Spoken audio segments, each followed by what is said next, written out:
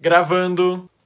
Olá, eu sou o Edu, sejam bem-vindos ao canal Luck Officials e eu tinha feito TBR de leitura em junho, que foi quando teve a maratona literária de inverno, mas faz muito tempo que eu não faço TBR assim todo mês e eu quero ver se eu volto a fazer isso. Se vocês gostam desse tipo de vídeo, deixa ali nos comentários falando se vocês gostam de assistir listas de livros que a gente pretende ler no mês. E quero dizer que é uma TBR assim bem aberta, são livros para me dar um norte do que eu vou ler em agosto, só que não quer dizer que eu vá ler realmente todos eles, mas lógico que eu pretendo ler eles sim, por isso que estão na TBR. E esse vídeo é a TBR do mês de agosto.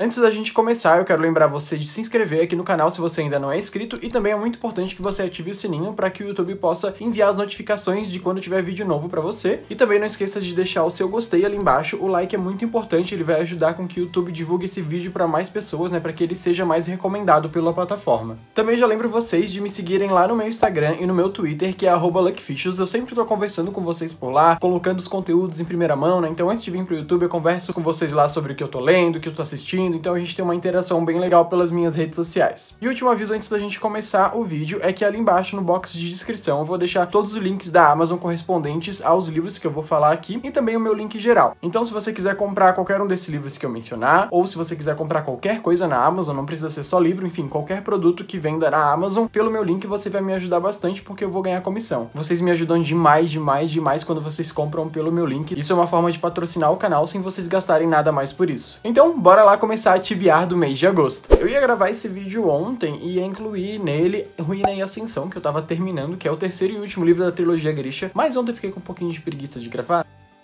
E aí eu acabei focando em ler, eu terminei o livro, então o próximo vídeo acredito que vai ser uma resenha completa da trilogia Grisha, então fiquem ligados aqui no canal. E o primeiro livro da minha TBR, que eu já comecei a ler, eu li eu acho que duas ou três páginas, é o livro Luva Vermelha, que é o segundo livro da trilogia Mestres da Maldição, da Holy Black. O primeiro livro é Gata Branca, então ele é a continuação de Gata Branca, que é uma história onde algumas pessoas têm poderes especiais e elas precisam usar luvas, porque quando elas têm contato com a pele de alguma outra pessoa, os poderes delas são utilizados, né, os poderes delas são ativados. E nesse mundo paralelo ao nosso, ser um mestre de maldição não é uma coisa assim muito bem vista, então por isso que todo mundo usa luvas. E a gente tem personagens bem diferentes dos personagens tradicionais que a gente tá acostumado a ver. Inclusive a família do protagonista é uma família de golpistas. O protagonista, ele não é nenhum exemplo de bom moço, sabe? É bem diferente dos tipos de protagonista que a gente tá acostumado. Eu lembro que eu gostei muito do primeiro livro, mas como tem essa questão dos personagens serem muito diferentes, eu não consegui me apegar muito a eles e eu acabei esquecendo um pouco da história, porque faz realmente muitos anos que eu li o primeiro, mas ontem eu li umas resenhas, vi alguns vídeos também de resenha do primeiro livro do Gata Branca, então eu já relembrei bastante a história e tô bem empolgado, bem curioso para saber como que vai ser essa continuação. Outro livro que eu também pretendo muito ler em agosto é A Guardiã dos Vazios, que é a continuação de A Guardiã de Histórias, cuja história nossa protagonista Mackenzie, ela é uma guardiã de histórias, ela protege as histórias nos arquivos, que são uma espécie de mundo onde tem uma biblioteca barra depósito, onde as impressões das almas das pessoas ficam guardadas e ela tem que proteger essas histórias porque de vez em quando elas acabam escapando pro nosso mundo. O primeiro livro eu gostei muito, muito. Foi, eu acho que a minha leitura favorita de 2016. Sim, faz quatro anos que eu li o primeiro livro. E eu tô bem curioso para ler essa continuação, porque graças a uma inscrita muito querida eu consegui comprar esse livro numa promoção na Amazon por 17 reais. Então eu fiquei bem feliz. Outro livro que eu pretendo começar a ler ele em agosto é As Crônicas de Nárnia. Eu tenho aqui esse volume único, mas eu provavelmente não vou ler por ele. Talvez eu leia no Kindle, porque eu não gosto dessa edição. Além das folhas serem brancas, a fonte ela é muito, muito, muito pequenininha e é tudo muito socado nos cantos da página. Enfim, eu pretendo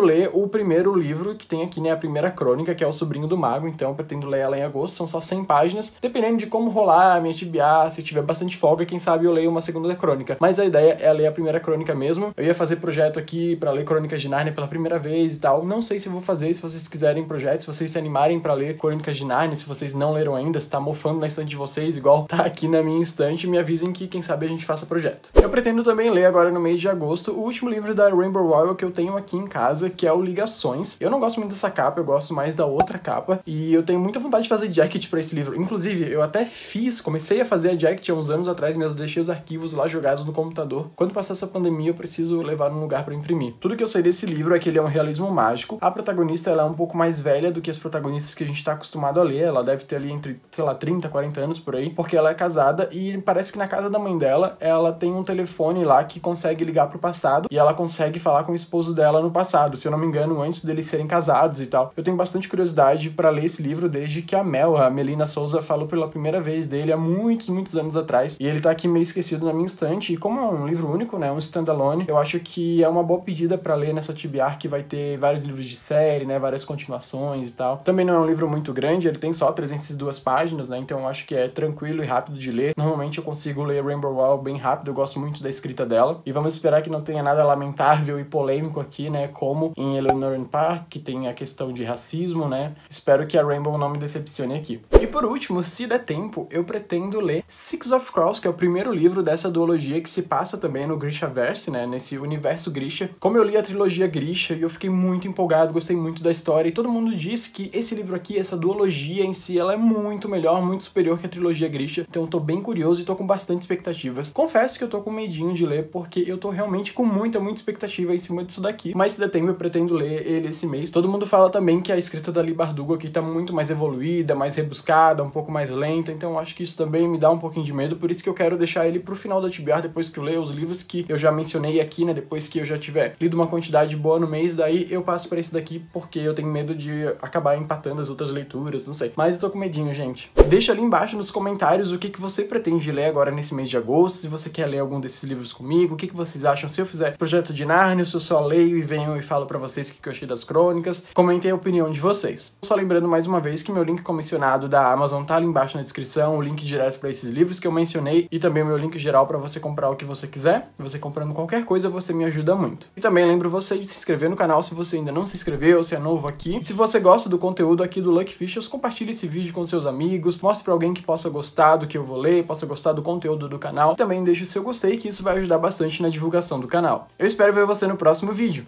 Tchau!